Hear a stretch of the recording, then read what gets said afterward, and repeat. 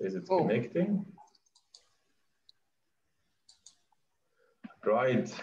So good morning, uh, Cindy. Thank you for joining us today.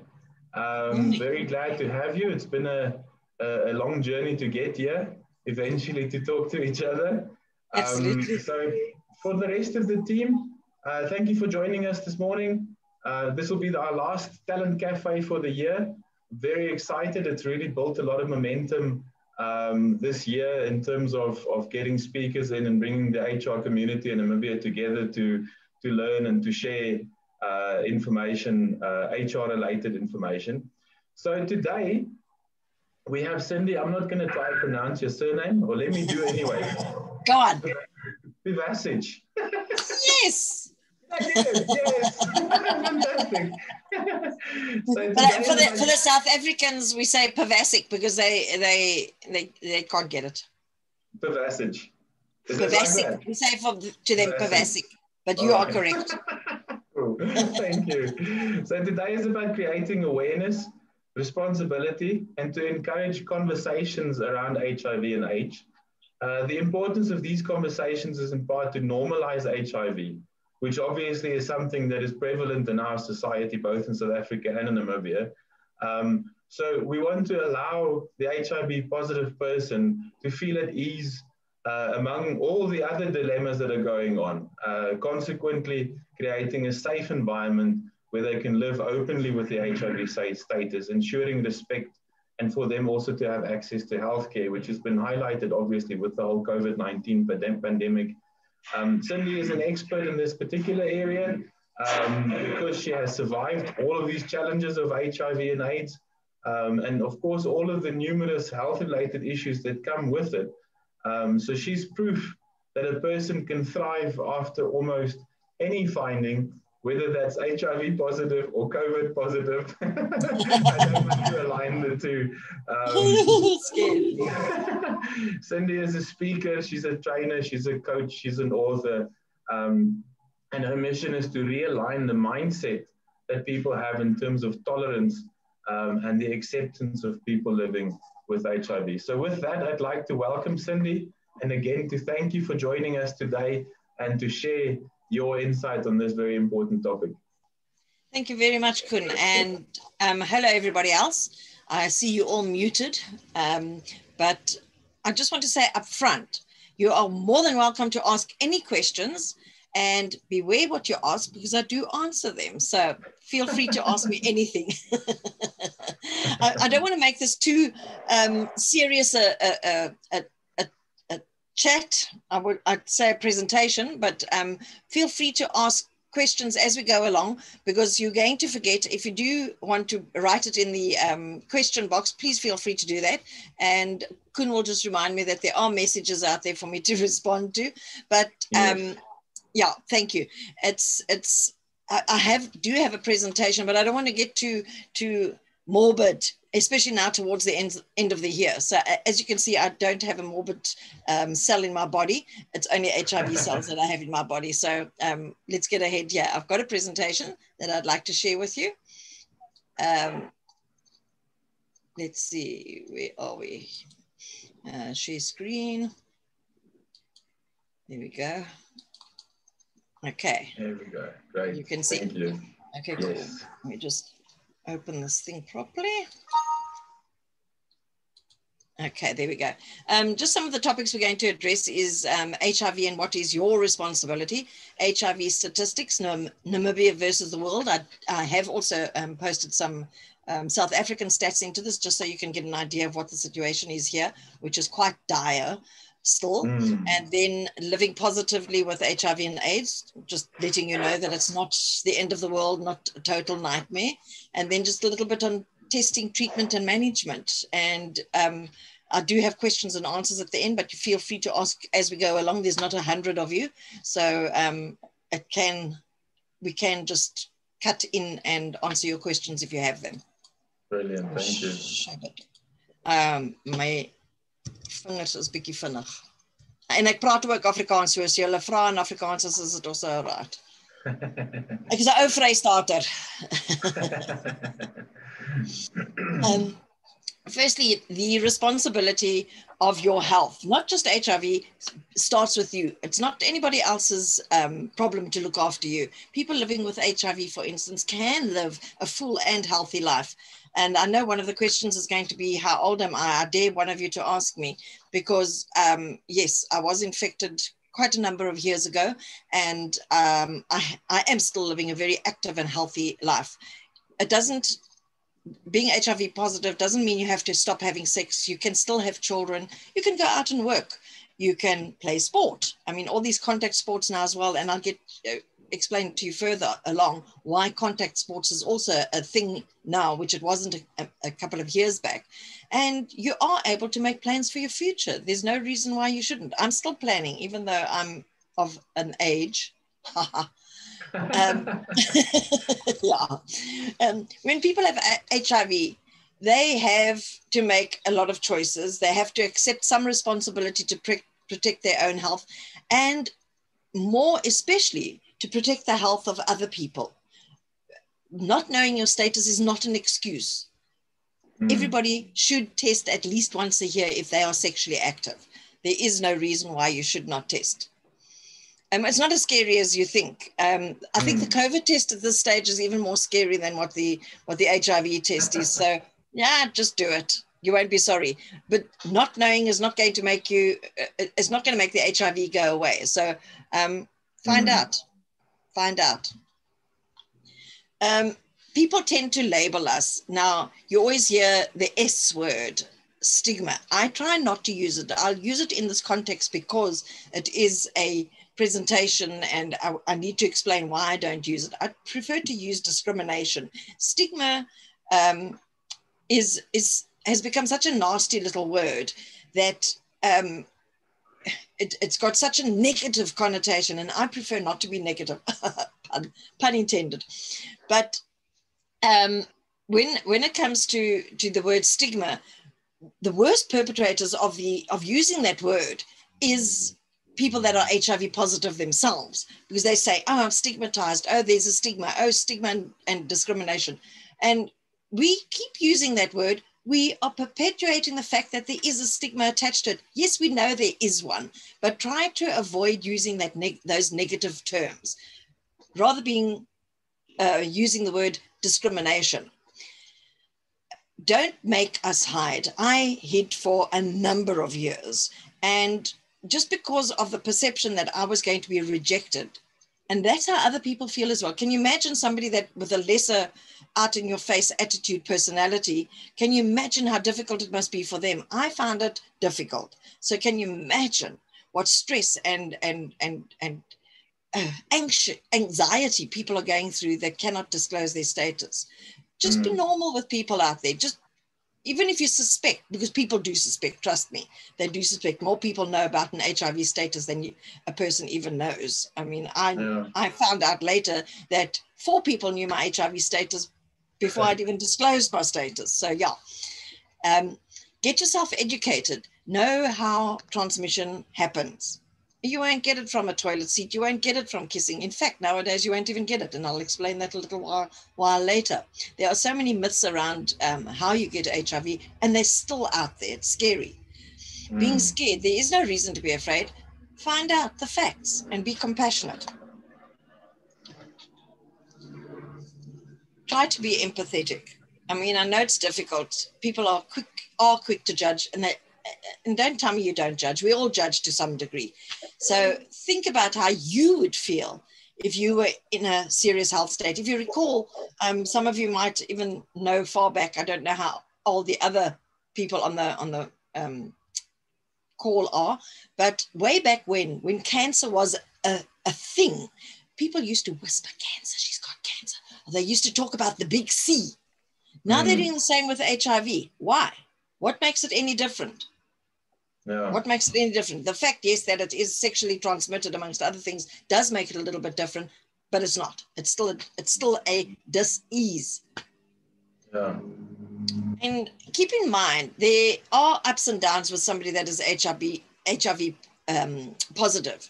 Try to be flexible with their situation, especially when it comes to um, employees, when the HR management is concerned. Be flexible because they do have rights and they are scared to disclose their status. Mostly, um, HR managers are the first, well, second line, except for the nurse on site, um, that knows the HR person is the next person to know. Be hmm. flexible mm. and understand the nature of that person's condition. Ask them how they feel they want to talk to you. They need somebody to talk to. Yeah. Offer that, basically offer that support. It's not only that HIV person that is that needs that support. There are families of HIV people. They might not be within your company, but they might have people within their household that is HIV positive and they are negative, but they need that support. They still mm. need that support because it's extremely hard to cope um, with somebody that is ill in any form um, in the family structure. Try to accept people like everyone else. I am who I am. I just want to be accepted for who I am, not what I have. It's mm. actually quite easy. I'm just human, like the rest of you. I mean, like subhuman maybe sometimes, but hey, I'm human.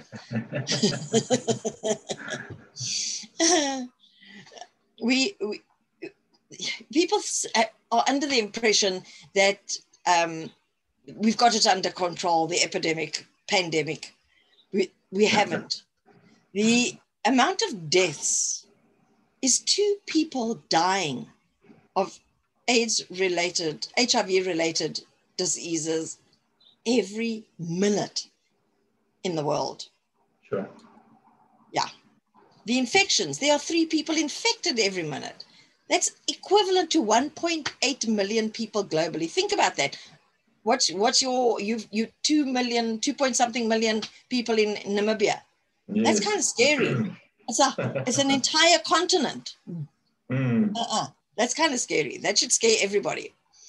Now, if you look at the worldwide totals, I, I just want to give you a, a, perspective of what what is out there and what the what what we're actually having to deal with, and why we should be addressing this and having conversations about it more often with people that are HIV positive because we actually look after ourselves because nobody else is really look, looking quite looking after us the way we are able to do mm. so because we research we make a, we we educate ourselves because we need to know.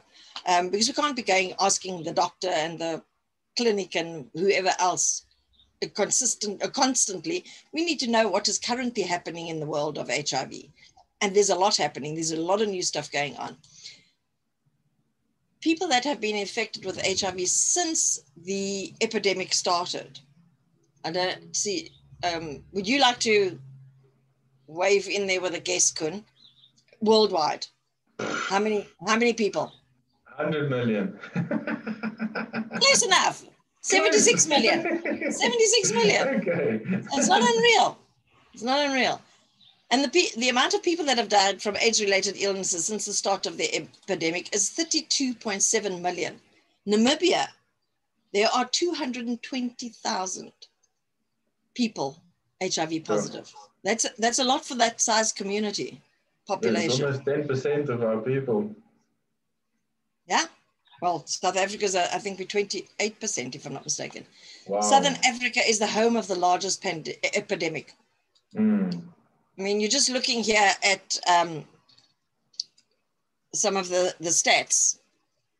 I put them out for you. I had a look on the, um, which website? UNAIDS.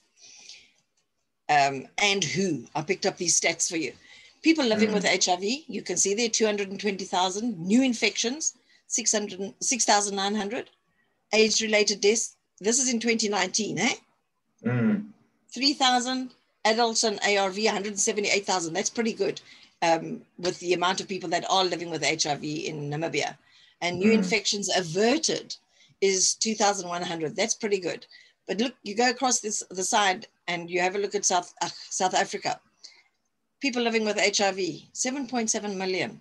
New infections is the amount of people in Namibia that are living with HIV. Mm. That's that that is like wow. Significant.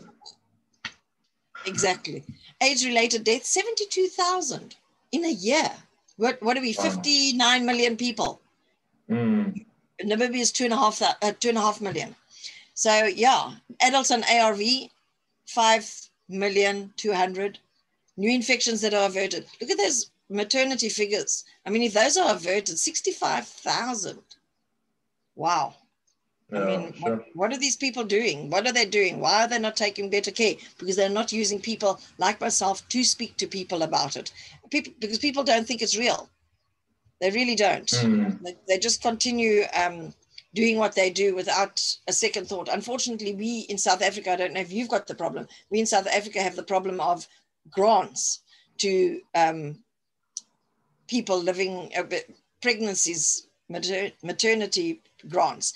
And I Mm. mean, that's how people survive. And it, it is understandable because of the culture and the situation we're in and the lack of, um, of um, finances and what have you. But um, more education has to be put out there. And then, as I was saying earlier, with with um, not being able to transmit the the um, virus, I don't know if anybody's heard of U equals U. That is undetectable equals untransmittable. If your virus is under 40 copies of milliliters in the blood, and you've been on medication for at least six months, you cannot infect anybody else. Sure. Yes. I cannot infect anybody, not through spittle, kissing, sexual contact. I cannot infect anyone. Obviously, I'm a little bit more, um, I come from, from the old school still, so I would not even um, put myself in a Yeah. position to infect anybody. I would still take precautions. However, what when people think that it's untransmittable, they think, oh, I don't have to use a protection. I don't have to use a condom. The fact of the matter is, you can still get other um, STIs. So, yes, you do still have to use a condom. But the fact is, you can be a little bit more relaxed about um, being in a relationship and having children and playing sport without um, infecting anybody Ah. else. So, that, Yeah. that to me is such a huge plus point. And I don't know, I, I, I haven't got a, a screen for that, but there's also PrEP is available, which is uh, uh, PEP, post uh, PrEP. My head's dizzy. It's Friday. PrEP, pre-exposure prophylactics, which um, the is available in South Africa. I'm not sure about Namibia, which is given to high-risk um, individuals, and it is available to anybody that does want to go on it. It is like a um, a pill, like a pregnancy Yeah. pill. You can't get pregnant. You cannot transmit that, and that is especially within our a gay and um, sex worker industry that it is more available to here. Uh, So But it's an Um, interesting thing that you said there because Hmm. I think we find that across the board. You know, people take antibiotics and as soon as they feel better, they stop. You know, um, and the same with mental health. I, I- obviously, which is now my my field. You know, people take medicine for depression or whatever, Yeah. and the moment they feel better, they stop taking the medication, not knowing that the medication is what keeps them feeling better. You know, so Better, it's a yeah.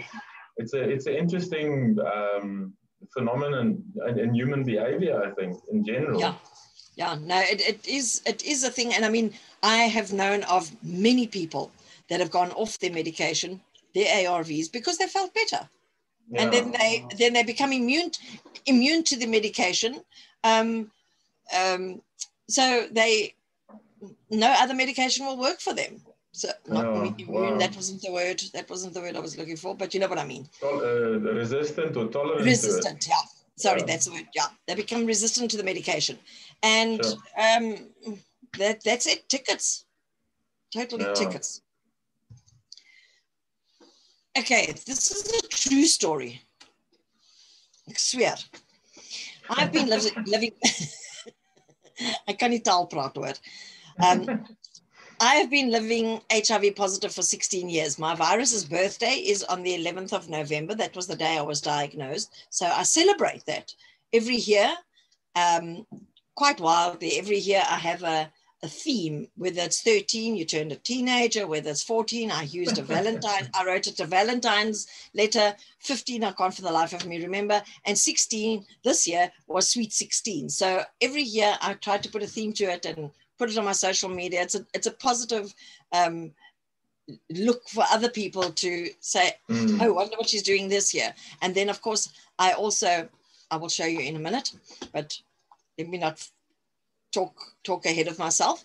But just to let you know, um, I was diagnosed in 2004, and between 2004 and 2008, um, I was eventually, obviously, in, by 2008, diagnosed with AIDS because I had pneumonia, I had shingles, I had TB meningitis, I had cancer, and I also had two strokes within a four year period. Um, yeah. In 2005 and 2006, both in January, strangely enough, and I didn't party, I swear. Uh, I was in a, I was in a coma for two weeks each time after the stroke, and then in 2018 I had a massive heart attack, uh, resulting in a double bypass. So that is um, what one can look forward to if you're diagnosed HIV positive and do not go onto medication immediately.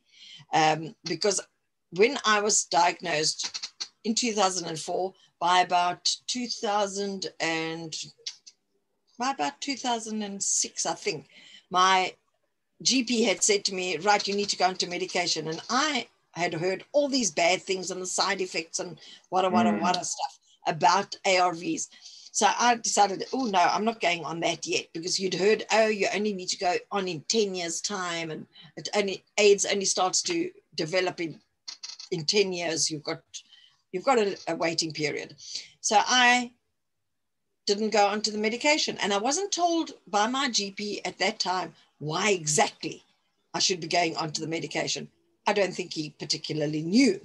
Um, although I had a very good relationship with him, he was very good thereafter. But pretty much they were clueless those years. Mm. But knowing that what I know now, um, I obviously would have gone on. But on the other hand, it, it was a blessing in disguise because I'm now in a position to say to people, look, this is this is not what you want to go through. So get onto your medication because that is the result of not starting your medication timeously. So that was my stuff in the four year period. And I obviously went on chemotherapy and everything else that went with it. Um, if there are any questions, you're more than welcome to ask me. But um, you'll see I lost a whole lot of weight. I went on to um, chemo, lost my hair, um, decided to really take it to the next level. And I used to shave my head completely. And as you can see, I used to henna tattoo on it when I used to go and give presentations. And The other thing you'll see the tattoo. Um, when I came to Cape Town, I actually decided, hey, you know what? Nobody's going to brand me. If anyone's going to brand me, it's going to be me. So from and to celebrate my 10 year um, uh, anniversary in 2014, I went and put a tattoo on my back. And every year, the chili came long ago. So that's not included. I'm a chili freak. And every year that I survive, I drop the date underneath that circle and you'll see there in 2018 uh, with a heart attack and then at the very bottom i did the did my november one already this year and then i am a 2020 warrior so i survived 2020 basically so um, that is that is the story behind the tattoo and just by being hiv positive doesn't mean you have to give up on living at all um, the story that goes with this particular picture is in 2018, I turned, now you're going to know how old I am. No, I'm not going to tell you. um, I, I, turned a certain age and I decided that I, for my for my big birthday, I wanted to do a tandem jump. And I'm terrified of heights, just so all of you know that up front. Um, and in uh, 2018, I had my heart attack in March and my birthday was in April, so I couldn't do the jump. So I waited till World AIDS Day of the same year in 2018, and I went and did my tandem jump, uh, what, March, April, May, June, July, August, September, October, November, nine months after my birthday. So um, don't let nine months be taken away from you. A friend of mine's uh, brother-in-law had a heart attack, also a double bypass, and he just like sat around, couldn't he got up to get the remote, didn't do the, occasionally did the dishes, didn't do anything else. And he died last year. Wow. My age. Mm. You really Being wanted positive. to ask that question.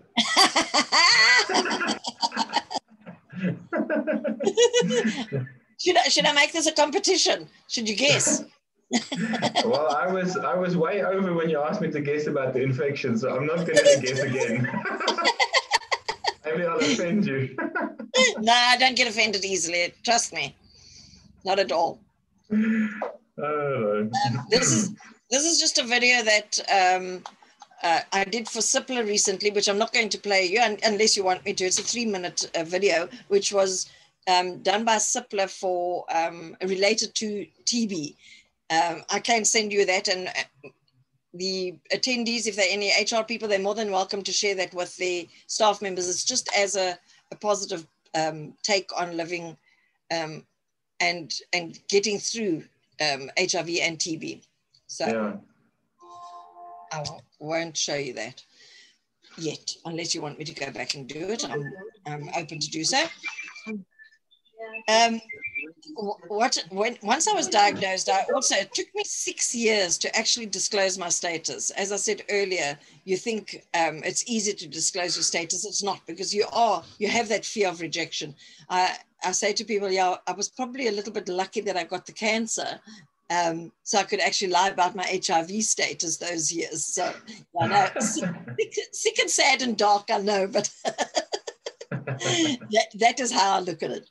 Um, I decided eventually to speak out because I was I was forced forced into it by um, a, a, a, lady that ran a nonprofit organization. The first time I actually spoke out about it was to 250 women um, at a nonprofit fundraiser, and I'm like, oh, and I only spoke for seven minutes, but that was the it was the most terrible seven minutes of my life. But yeah, but once it was done, it was done, and the relief I felt and then, of course, there was Charlotte Kemp that pushed me to um, put out a website. In 2011, my website went up and I just went big. I just went public. Um, mm. obviously, I, I've informed my family and what have you first. And because of all of that, I have developed personally in leaps and bounds. I can honestly say that from my disclosure, I wrote two books. Um, I've been a TV host, I became an educator. I did radio hosting, um, HIV activist, counseling. I actually took my, I never ever got um, pre or post counseling. I took myself through a counseling course. So um, I could inform myself so that I could put myself out there to help others. And that is how, because I realized if I wasn't being offered uh, counseling, what about the other people out there that have less um, access to information. So I put myself through there and people came to me via my back end, Facebook, via WhatsApp, etc. Um, so that is where I put myself. And the most important thing of all is I'm a survivor. And that is to me the most important part of anything is that people need to know that they can survive. And if you if you're going to um, curl up in a corner, you are going to die. There is there's just no ways. There's so much information, so much education, and so much medication that you have no excuse but to be a survivor in this day and age. Mm. Um, then testing and treatment, I'm not going to go uh, through too much of that. There is voluntary counseling and testing, and um, we are encouraged. And the only way to, to empower yourself is to know your HIV status. There, there's, it's, it's easy peasy. Most of the companies do have wellness days and people need to be encouraged to test. My biggest beef is that management never tests, and that needs to be encouraged more than anything. The uh, blue collars, for want of a better way of putting it, need to see that management is going out there and testing. Even if they tested two months ago, go and test again, just to show mm. the, the, employees that you care. Um, there are a couple of different tests available out there. ELISA, which is um, checks for the antibodies, the rapid test, which also takes checks for the antibodies, P24 checks for the virus, and the PCR checks for the virus as well. The other thing that is, I'm not sure if it's available in Namibia, but it is available here in South Africa is the home test kit, which I am totally against. Um, yes, in high risk communities like the gay community, it is beneficial, but I don't like the fact that people cannot get the pre and post counseling that should go with that. Yes, they say to mm. me there is a a um, a slip, you know, those big pieces of paper in the box that says if you do test positive, go for counseling. Who reads those? Who reads those inserts? Not me. So I do not I do not agree with the home test. I'm not for I'm not for the home test. That's just me, my opinion. Um, if you take a med, you'll stay really healthy. thought about that. I mean, imagine the shock if you do do the Yeah. home test. And I mean, there's nobody there to hold your hand. I mean, you already Absolutely. got all the anxiety that goes with Yeah. you know, Yeah. the fear that maybe you have the virus. And then you go and get it on your own. You're not going to be encouraged to disclose or seek counseling or anything. No. So, No, not a chance. um, Yeah. and then you open the door to suicide and all sorts of other related Absolutely. things. Yeah. That's my fear. that- Is that Mm. suicide thing? Because do you know? I'll say 95% of the people that do come to me, the first thing is they want to kill themselves. okay, it's got wow. a little less over the years, but I mean, I can't tell my parents I'd rather kill myself, and very suicidal. Yeah, well, if you talk about an epidemic, that's one of the things that we're struggling with in Namibia is, um, you know, suicide. Yeah, one of my that, friends, yeah. one of my friends committed suicide during COVID. Mm, She sure. was my age. Yeah, Mm. she had her business, all her eggs in one basket. Um, she had nobody to talk to. Yeah. or she felt she had nobody to talk to, and she just ended it. Uh, wow. So- we still don't know your I mean, the same goes. The same goes for HIV. Sorry, sorry. We still don't know your age. You'll get there.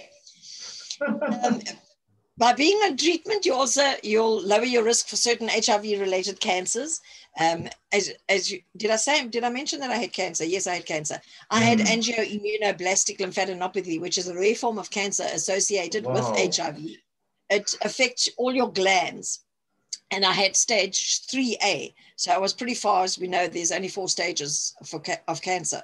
So um, the the most known one is Kaposi, um, which is the um, skin lesions, um, which is quite prevalent. And um, yeah, you don't want to get cancer if you can avoid it. Trust me, you don't want to go through chemo. Although my chemo, I sailed through for what reason I have no idea. But anyway, I sailed through my chemo.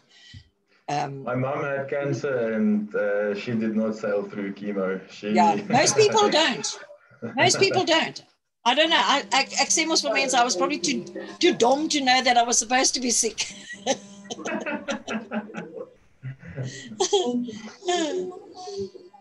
By taking your meds, you'll lower your chances of developing opportunistic infections like TB, TB meningitis, um, bowel TB. My partner at the time had bowel TB um, when he infected me, knowingly infected me, peoples. So, um, yeah, you there are various types of cancer. ah, sorry, TB. Um, you even get TB in the knees. So, think about that. You can reduce Mm. the odds of transmitting HIV to anybody if you are on treatment, um, and you'll get access to other services, like in my case, to TB services, to um, um, heart services. They come cut your heart open, whoosh, splat you open. You get the services. So, um, just some of the lifestyle managements. I'm not going to go through all of them. I, if you want me to um, send a, a PDF copy, I'm, I'm more than willing to do so. Uh, you can have exquisite it. You can begin to heal if you take ownership, live in the present, build a strong foundation for your future, assemble a so- support network, and you will achieve a balance in your life if you manage your HIV status correctly. Um, there's a, a few more things that I, I, I won't delve into too much. Um, and as I say, I don't want to keep everybody and bore them at the end of the year like this. So I will, as I say, um, then this, this is what I wanted to get to. Managing HIV and AIDS in the workplace. There should be an AIDS policy statement in place in every every company. It is Mm. a legal requirement. I just pop into a few here. Employers may not discriminate against HIV positive people. No person may unfairly be discriminated against.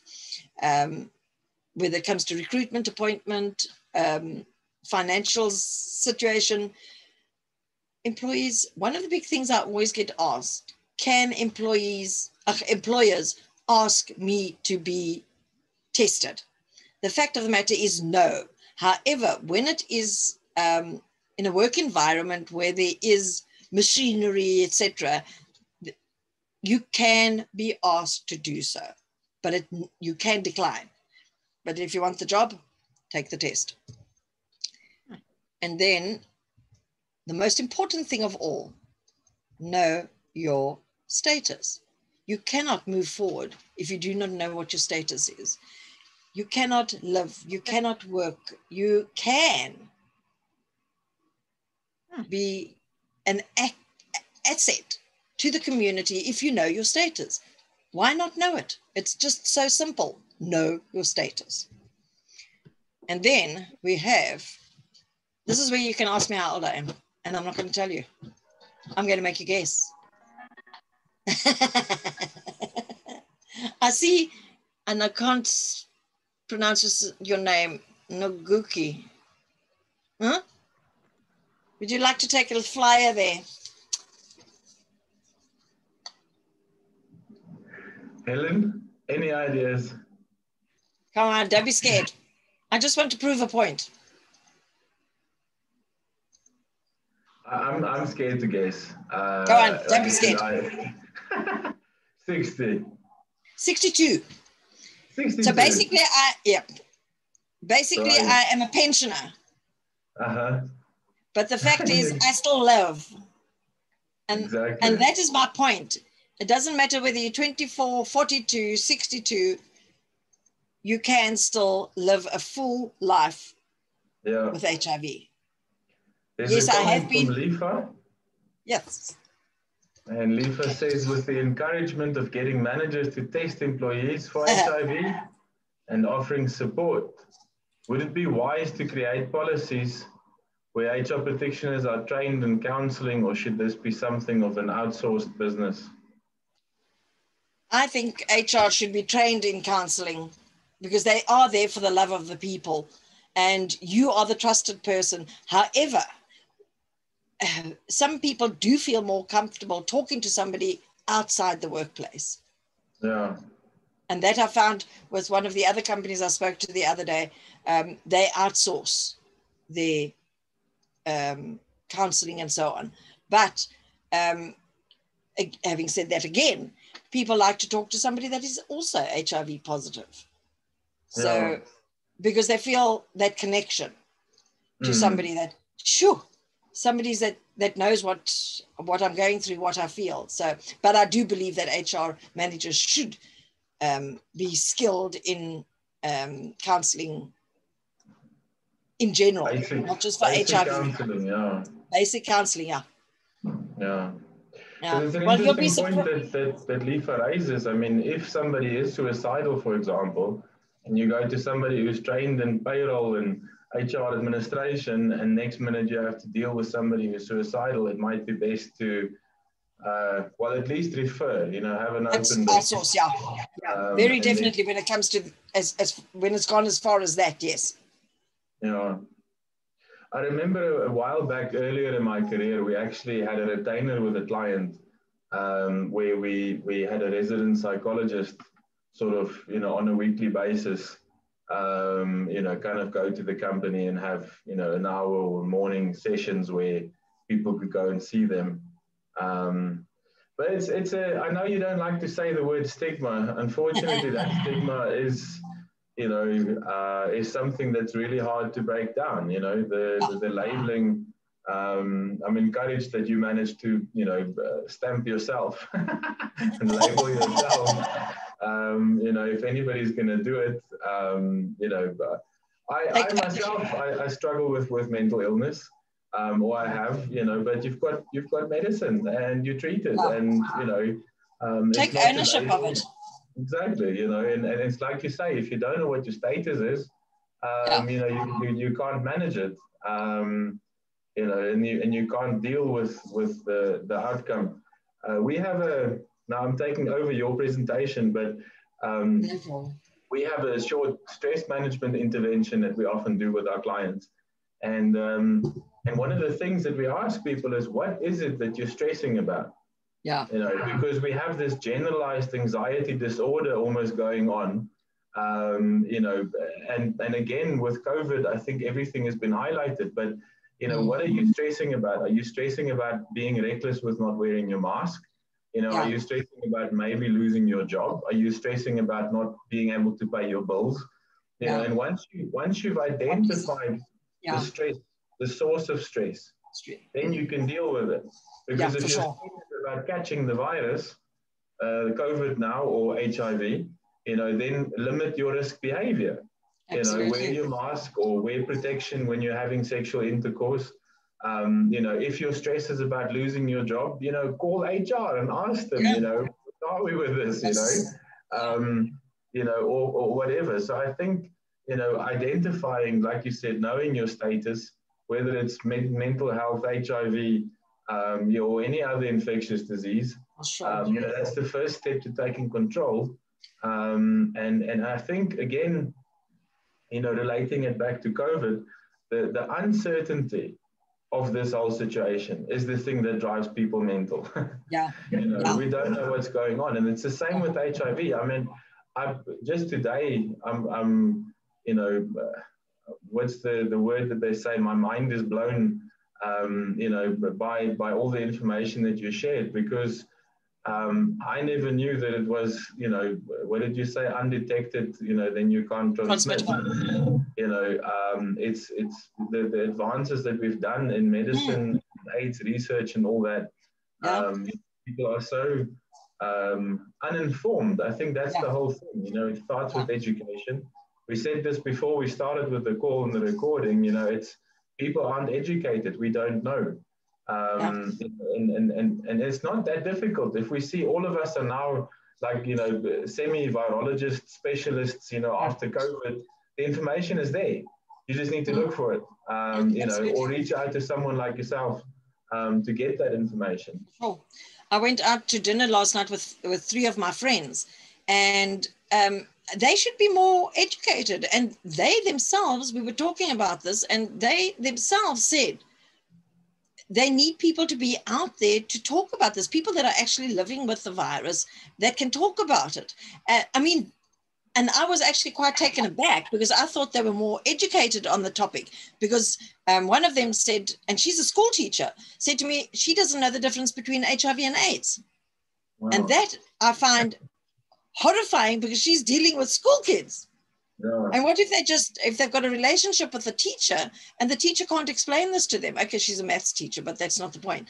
Um, it just, it's an educator. What if they have that, that connection with their teacher, their educator, and they can't speak to them about it because the educator's clueless? Mm. And this is this is the, the, one of the biggest problems is, is that it's not being educated in the schools. They're not yeah. the schools do not use um, or, or, or, educate to that degree on lifestyle skills. I mean, I, um, which most people don't know about this, I keep that quite quiet. I um, volunteer with a with a, a, a, Life Matters institution that's a nonprofit organization that goes. This is the only way I can get into the schools. They go into the schools and do lifestyle training, uh, life skills training. And that is the only way I can get into the schools. And, and I don't always get a big opportunity to talk about HIV, but when I do, I get my little bit in. And that's, and that's unacceptable. Um, because this is the age, the grade sixes and sevens is who, who we're talking to. And um, it's unacceptable that we are not talking about sexual actions and, and the repercussions thereof, be it pregnancy, be it STIs, be it HIV, whatever. Um, it's not being spoken about in the schools. And that is where we need to go. Yes, all the um, corporates and what have you have got all the year end functions on World AIDS Day happening. And um, yeah, they do their duty and they tell their employees, but those employees do not take that information back home to their children. So we, we're educating up here, but we're not educating here where they are newly exposed to sexual interactions. So yeah, I can, get very, I can get very fluffy about this. By the time you get to the corporate environment, it's too late almost. Yeah, yeah, it is. It is. Yeah, wow. Because you know, they kids have got Teflon. They're made of Teflon. They think they're made of Teflon. yeah. You see what happened with the rage in Ballito now as well, the party. I mean, how many kids are, are infected with COVID from there? They think yeah. they're Teflon. Yeah, well, the insurance companies have known that for years. So your, your insurance policies and stuff are a lot more expensive when you're young, specifically Yeah. for driving. Yeah. I mean, I mean, I've even tried to get into the insurance companies to speak to their clients because they must have massive corporates where we can speak. Mm, Yeah. no go, no go. I have to. Well, Cindy, we're almost uh, 11 o'clock. I want to thank you um, officially for joining us today um, and And for having a nice chat with us and raising awareness. Like I said, we could probably go on for quite a while talking Yeah. about all the all the things that we can do and how we can intervene as HR.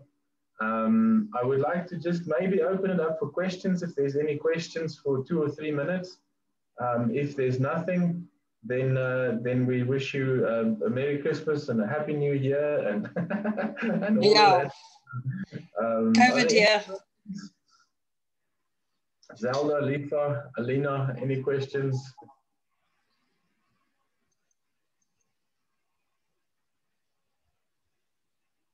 Nothing. Thank you. Yeah, Okay, they're, they're more than welcome. Thank you very much for having me. And anybody's more than welcome to contact me if they want to ask me any questions. And if you want the, if you want the, on the on the chat section there, and Gookie says she guessed that you were about 47, no more than 50. thank you. I act, I don't act my age, but anyway. Well, I've never seen a.